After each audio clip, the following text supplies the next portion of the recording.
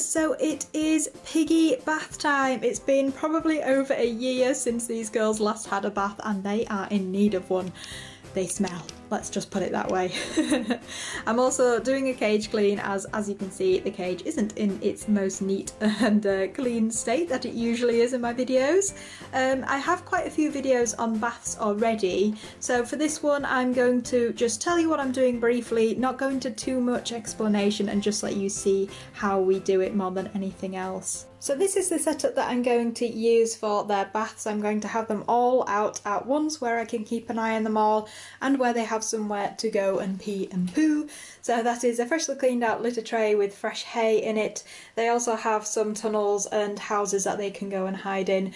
As I'm doing them all at once and then you leave the shampoo on for a bit, they're going to be kind of wandering around this area whilst the others are having their baths. So onto the product that I'm going to use.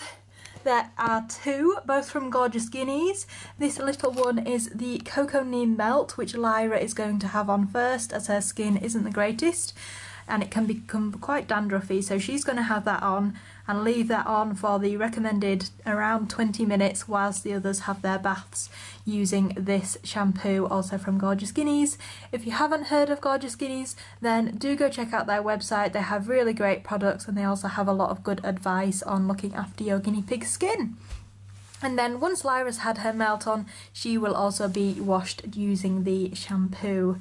So let's get started. So first we're going to do Lyra's melt. As you can see, I've got it in my hands and you just kind of let it kind of melt into the oil and then you apply it to their skin. So it's a bit icky.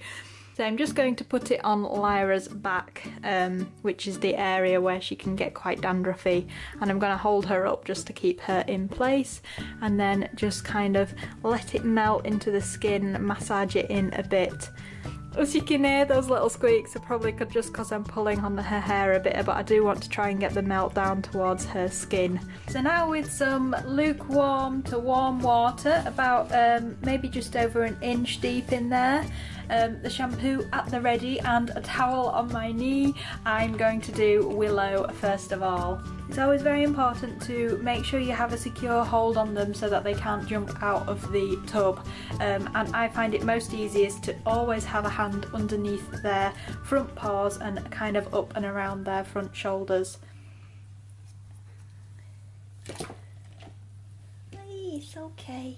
It's okay, sweetheart. It's only water. It's only water. I know, it's okay. It's okay. It's okay. It's okay. So your first reaction might be something like that, which is not the best reaction, but we'll persevere and she will calm down.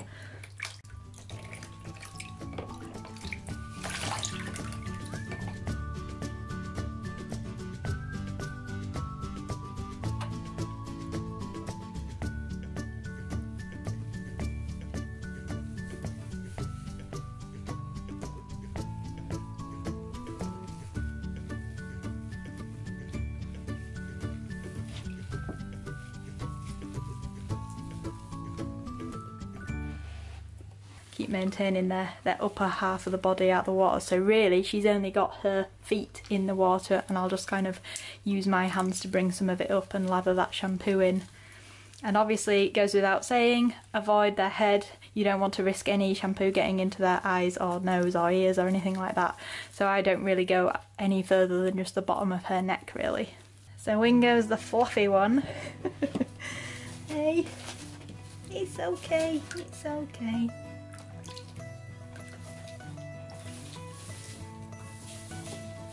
I thought she'd be calmer. But even if they're acting calm, then just be aware that they can make a sudden burst for it. You a good girl, Twiggy. Are you a good girl? Oh, you're being very good, Twiggy. Yeah.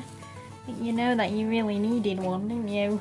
So now Twiggy's all done, I'm just going to change the water and then we'll rinse Willow off. So for rinsing them off, I will try to get a bit more water in there.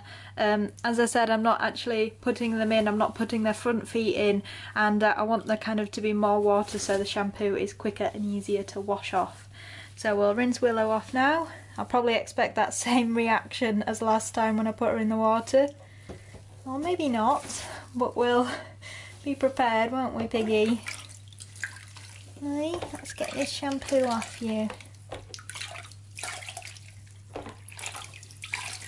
I probably rinse them off more than I really need to, but um, I think it's important to make sure you really get all of that shampoo out and you don't leave any um, residue in the skin at all. Straight away after she's all rinsed off, I'm going to pop her onto my knee, which I've got a towel on. We're going to wrap her up and just give her a quick rubbing down. Know, I know you don't like it.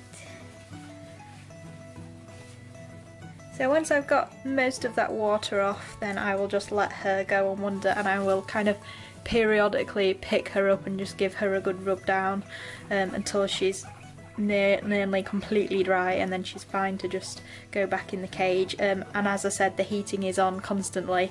It's quite warm in here so um, she will dry off.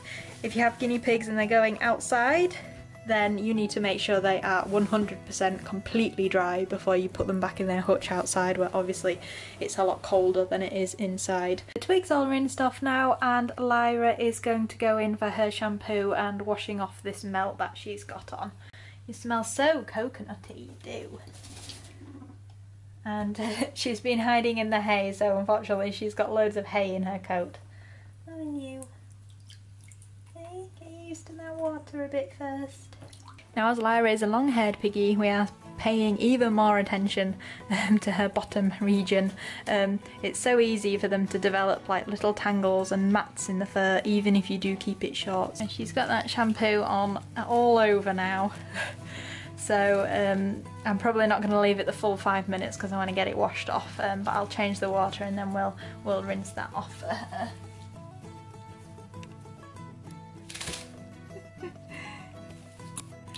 I'm actually not having to hold on her, to her tightly at all, so I think she kind of likes this, don't you? Hey, is that nice and warm?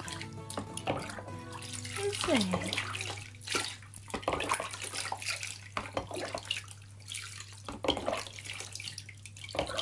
Are you gonna show show them your face?